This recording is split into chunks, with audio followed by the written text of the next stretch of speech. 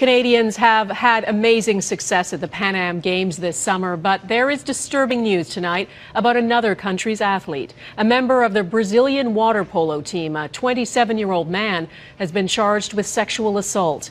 The incident is alleged to have happened in Toronto the night before the team left the country. As Mike Drolet reports, getting the Brazilian back to Canada to face charges will be a challenge.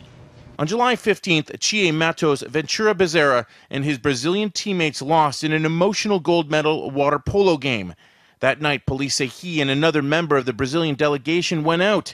They ended up at the downtown apartment of a 22 year old Toronto woman, where early the next morning, the alleged sexual assault occurred. They were present with the victim, and uh, the victim was sleeping when she was sexually assaulted. Hours later, Bezerra returned to Brazil with his team. Police have now issued an arrest warrant for the 27 year old and have begun the process of trying to get him to return to Canada. We're in the process of discussions with uh, Brazil, and um, that will be something that they will have to discuss and, and figure out. Bezerra has since Toronto had the day off. News of the arrest warrant had them scrambling to find police headquarters and learn more about their country's water polo goalie. Basically, uh, nobody like in the sports world knows him. You know, he's an unknown guy. Uh, I mean, uh, we know some, some fellas from, from the water polo team.